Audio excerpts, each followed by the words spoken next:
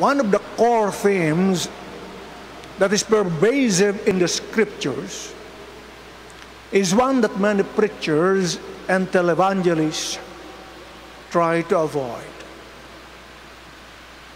And why is that? Because this theme engenders fear and trembling. And it is because when you put it on the social media, you will be bashed terribly. And what is this core theme? Divine wrath. Divine wrath. And when that happens, divine retribution is not far behind. It is like an apple that falls from the tree, it does not go far. When you see the tree, the fallen apple is not far behind.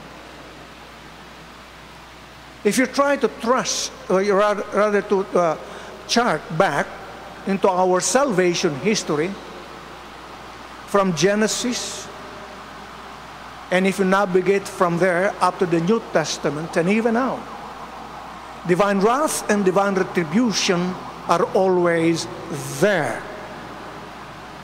From the time, for example, God was angry with our first parents, and they were eventually driven out of it. Came already the divine wrath and retribution. What about divine wrath during the time of Pharaoh.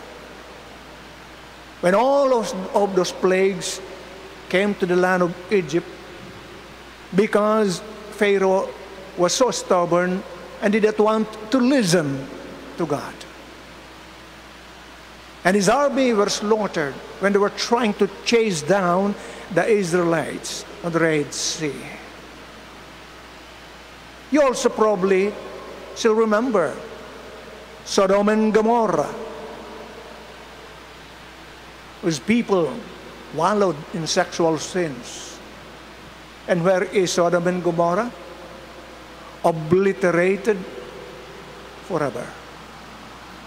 Then that's not all. Even in the New Testament, you will see God's wrath.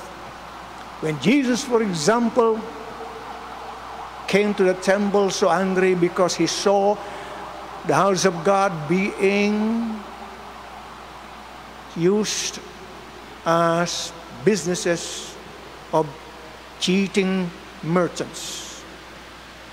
And so they were beaten by the Lord, and all their merchandise were scattered all over. And I will see the scribes and the Pharisees. The favorite host of Jesus' wrath. When in today's gospel he says to them, Woe to you for doing this, for doing that. Woe to you for having not amended your life. Woe to you for having not repented.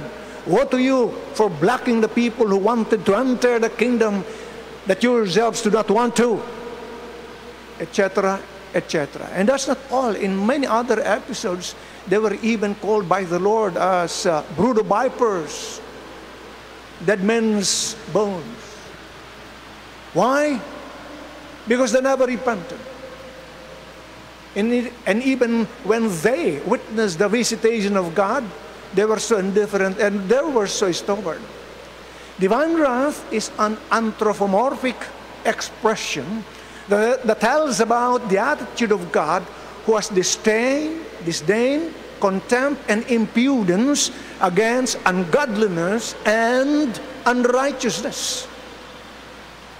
And what is infuriating for the Lord about that is that whenever there is ungodliness and unrighteousness, there is a corresponding breakage of relationship. When relationship among men is broken, God is outraged. When the relationship between man and God is broken, God is outraged. And that's precisely what happens in the whole narrative of the gospel. Whenever God is angry, there is that broken relationship that has ensued. And God does not want that to happen.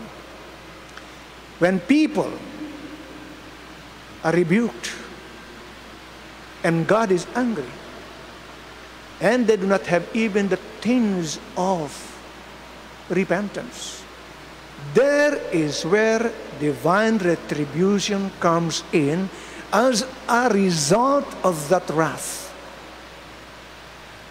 And you will also remember that whenever there are calamities, catastrophes of great magnitude, there is always a sin behind. And that is what, or the reason why, God is outraged. Ungodliness and unrighteousness. But there is one beautiful thing that we can still draw out of it. For the Lord says, For God so loved the world that he gave his only begotten Son, so that those who believe in him may not perish but have eternal life. So, in the midst of divine wrath and divine retribution, love will still supersede over it. Because God is love. That's the reason why He is a Trinity.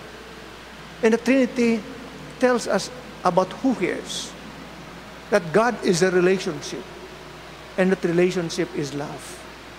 Love is more powerful than divine wrath and retribution.